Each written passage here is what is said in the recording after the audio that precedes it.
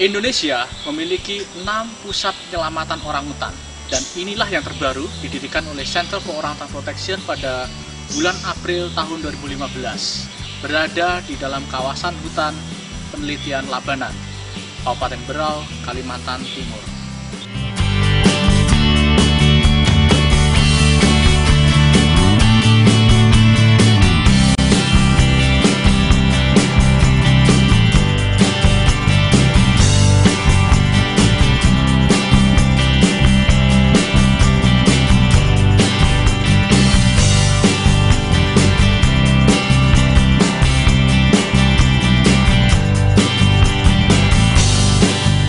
Ini durinya tajam banget ya, durian merah ini ya. Pertanyaannya adalah bagaimana orangutan bisa memakan buah ini. Ngomong-ngomong, ini adalah salah satu buah favorit bagi orangutan.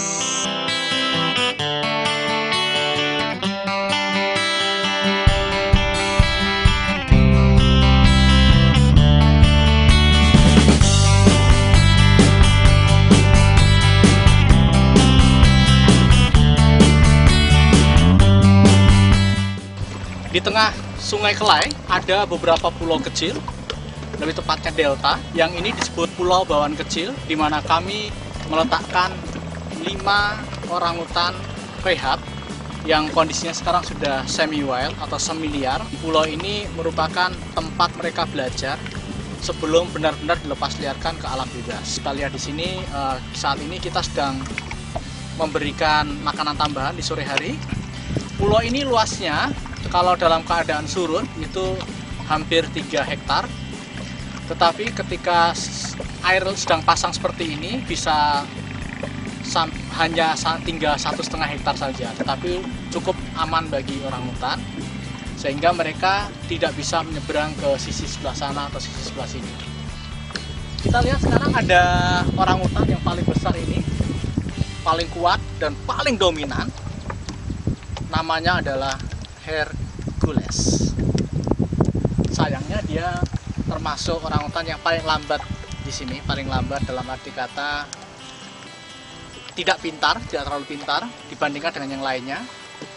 Di belakangnya Hercules itu ada teman baiknya yang bernama si Untung. Anaknya pintar, sangat lembut dan baik hati, tidak agresif, dan dia cenderung pemalu dan waspada. Baru datang itu, ini adalah favorit saya, namanya Unyil. Bertahun-tahun dia dikurung dalam kandang kayu yang kecil di dalam toilet, dalam kamar mandi. Tetapi rupanya dia termasuk orangutan yang pintar sekali dan sangat adaptif. Dengan cepat dia bisa beradaptasi untuk hidup di alam bebas seperti ini. Dia mulanya untuk membuka pisang saja dia tidak bisa, dia harus diajari. Tapi sekarang dia jagoan, paling pintar manjat di pohon. Leci, nah itu yang kerjaannya, dia Leci itu orangutan yang paling males berada di tanah. Dia selalu berada di pohon. Paling kecil di sini, paling usil, tapi juga saya percaya dia paling pintar sebenarnya. Hanya karena tubuhnya paling kecil, paling lemah, dia maka dia cenderung menghindar dari orangutan yang lebih besar seperti eh, si Hercules ini namanya Novi beberapa tahun lalu waktu kita pertama kali bertemu dengan Novi kondisinya sangat menyedihkan.